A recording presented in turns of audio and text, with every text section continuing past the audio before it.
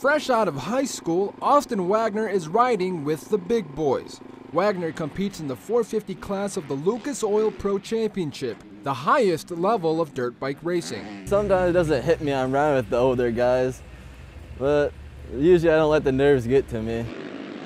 The 19 year old is no stranger to racing. He began riding at the age of 10, and his grandparents own a track. Austin's mother, Lisa, was a five time amateur champion.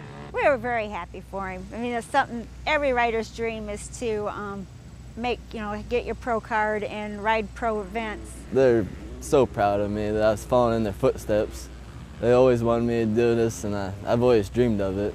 Even though he's a pro, Lisa still worries about her boy.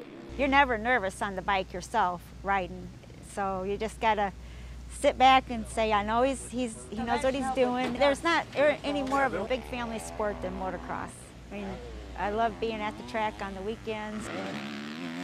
Reporting at Ironman Raceway in Crawfordsville, Ruben Juarez, Sports 18.